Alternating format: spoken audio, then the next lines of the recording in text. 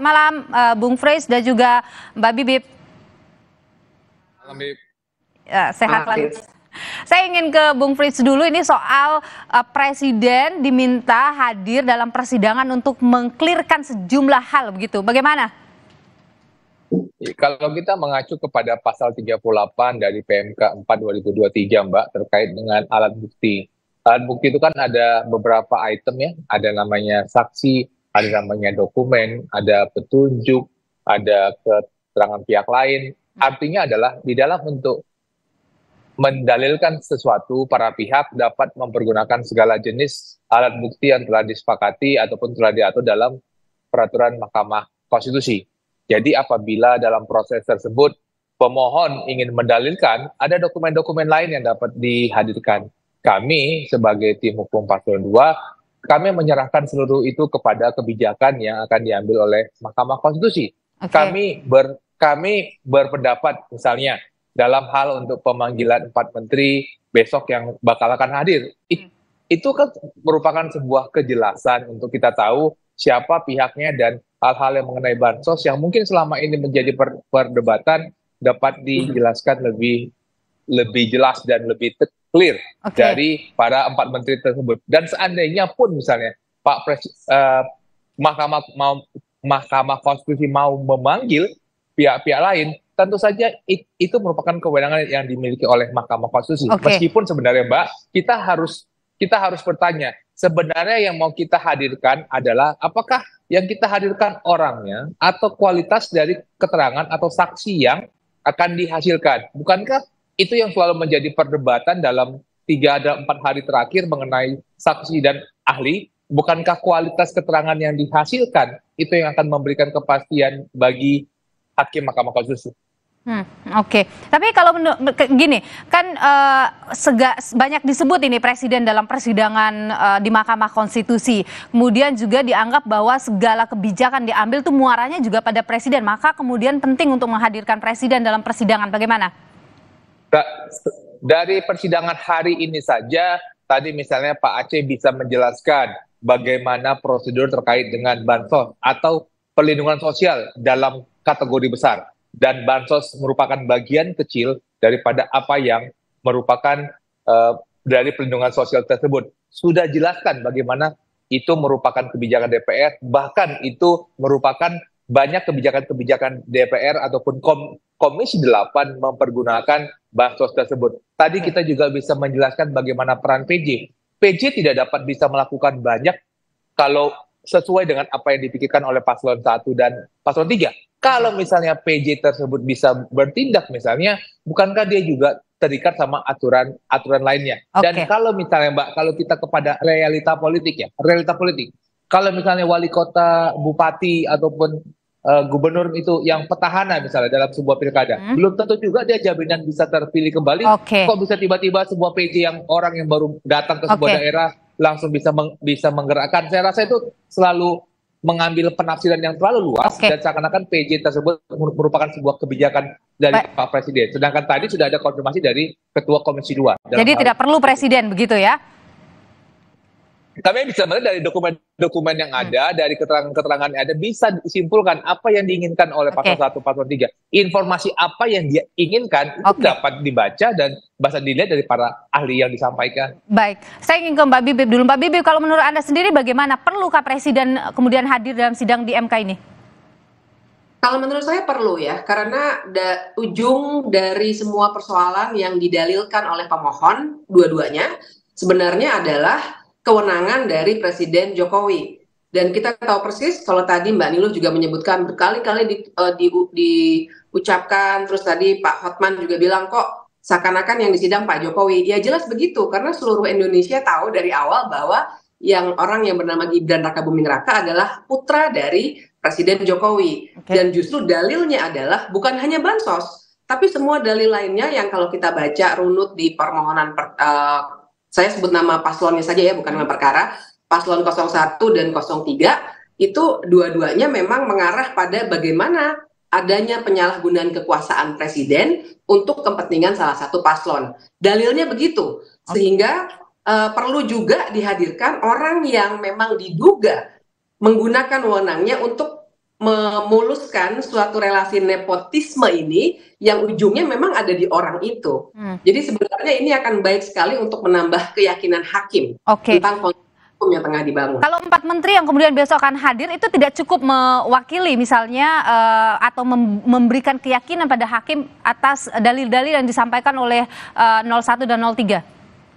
Kita belum tahu ya, karena besok saya belum tahu juga seberani apa misalnya orang-orang seperti Ibu Sri Mulyani kalau yang lainnya saya kira sudah jelas posisinya uh, untuk mengungkapkan apa yang sebenarnya terjadi. Tapi intinya kemungkinan untuk menghadirkan Pak Jokowi itu jangan ditutup dulu. Karena kita mesti paham ini yang dibangun adalah sebuah argumentasi, sebuah konstruksi hukum, bukan untuk uh, apa mendakwa seorang presiden. Memang bukan okay. di sini tempatnya gitu. Jadi uh, uh, lihat konstruksi hukum yang sedang dibangun, Mbak. Oke, okay. Mbak uh, Bung Fritz tadi Mbak Bibip mengatakan bahwa tidak hanya sekedar bansos kemudian yang uh, apa uh, dalil yang disampaikan 01 dan 03 tapi ada penggunaan kekuasaan yang begitu luas gitu. Itu yang perlu diklirkan oleh uh, presiden bagaimana? Dalam proses yang ada di Mahkamah Konstitusi dan setiap persidangan lainnya, setiap yang memohon, setiap yang mendalilkan dia harus bisa membuktikan. Bukankah kita sudah sepakat apabila memang pemohon satu dan tiga merasa ada penyalahgunaan kewenangan, misalnya kalau saya memakai term yang dipakai oleh paslon satu dan paslon tiga, harusnya mereka yang dapat membuktikan foto, dalil, dokumen, sistem strategis, hal-hal tersebut adalah sesuatu yang dapat mereka sampaikan di dalam persidangan. Cuma sekarang pertanyaannya adalah, apakah Mbak Nilo bisa melihat, apakah dari ahli dan saksi yang disampaikan dalam dua hari terakhir, apakah dapat membuktikan hal tersebut? Janganlah sebuah pembuktian itu menjadi sebuah pembuktian ter, terbalik jadinya. Jadi jadi presiden atau KPU ataupun Bawaslu harus mengungkapkan bahwa tidak ada hal-hal sebagaimana yang diperkatakan ataupun yang diduga oleh paslon satu dan paslon tiga. Jadi pembuktian tersebut itu harus bisa menjadi beban daripada pemohon satu dan pemohon tiga. Saya setuju sama Bibi hmm. bahwa perlu ada sebuah kejelasan misalnya. Tapi okay. apakah sebuah sebuah kejelasan itu harus dengan kehadiran saksi? Karena kita ingat dari kacamata hukum pembuktian ada alat bukti lain selain daripada kesaksian. Oke, okay. oke, okay. Mbak Bibi bagaimana?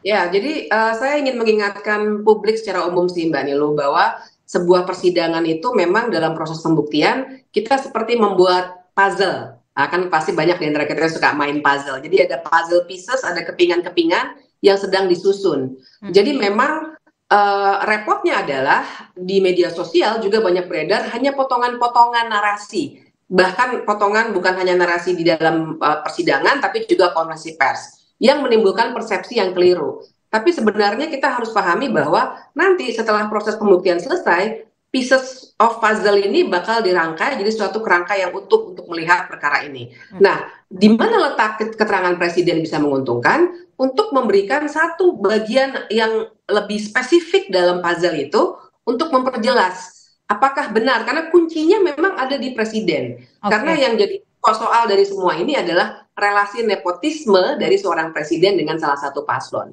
Oke, tapi kalau menurut Anda besarkah peluangnya kalau MK kemarin kemudian akhirnya menghadirkan empat menteri, apakah besar peluangnya mungkin uh, presiden bisa dihadirkan dalam sidang Mbak Bibip? Ya kalau kalau di titik ini saya kira pertimbangan uh, kita mesti melihat dulu. Saya kira hakim juga akan menimbang setelah empat menteri besok akan memberikan uh, keterangannya, baru mereka mungkin akan memutuskan perlu atau tidak. Tapi intinya jangan ditutup dulu kemungkinan ini karena kita harus fokus pada persoalan nepotismenya itu yang ingin diangkat. Oke, tapi kalau misalnya di presiden, kalau di menteri kan uh, hakim sudah memberikan uh, apa uh, penyampaian ya di awal bahwa tidak ada pertanyaan dari pihak mana pun hanya dari hakim saja. Kalau misalnya presiden nanti kalau memang ingin mengklirkan, apakah perlu ada tanya jawab seperti itu kira-kira, Mbak Bibip? Uh, aturan mainnya memang kalau uh, hakim yang memanggil, mahkamah yang memanggil, okay. maka hanya hakim yang bisa bertanya. Tapi nanti kita lihat saja perkembangannya karena uh, seluruh kewenangan mengenai pengelolaan ruang sidang ada di tangan hakim. Oke, okay. oke okay, baik. Uh, Mbak Bibi terakhir begini, kalau sejauh ini uh, yang sudah berjalan, bagaimana posisinya ini? Cukup kuatkah dari uh, pihak yang bersengketa ini? Iya, saya kira uh, sampai dengan hari ini kalau dilihat dari semua saksi dan ahli yang sudah dihadirkan, sebenarnya in, uh, apa namanya gelagatnya ataupun konstruksi hukum yang dibangun uh, cukup kuat dari pemohon atau paslon 01 maupun 03. Uh, tapi besoklah ini yang akan menentukan sebenarnya sejauh mana hakim bisa menggali dari empat menteri. Tapi fakta bahwa hakim sudah mau mengundang empat menteri itu, itu juga suatu sejarah penting dan saya kira sebabnya adalah karena hakim mulai teryakinkan dengan okay. konstruksi hukum yang tengah dibangun. Baik, kalau Bung Frits bagaimana keyakinan Anda soal uh, muara dari sengketa Pilpres yang berlangsung di Mahkamah Konstitusi ini? Mbak uh, Mbak Nilo, bukankah kita semua sama-sama percaya bahwa Mahkamah Konstitusi akan mengeluarkan sebuah keputusan yang terbaik? Dan kepercayaan tersebut sama-sama kita lakukan sebagai paslon 1, 2, dan 3. Dan kami tentu juga percaya bahwa Mahkamah akan memilih dan melakukan apa yang dianggap mahkamah penting dalam rangka okay. untuk menghasilkan sebuah putusan yang terbaik. Jadi Baik. kami percaya kepada proses yang akan diambil oleh mahkamah. Oke, terima kasih Bung Fritz uh, dan juga Mbak Bibip sudah berbagi pandangan di Sapa Indonesia Malam Sehat selalu. Ya Bib, sampai ketemu.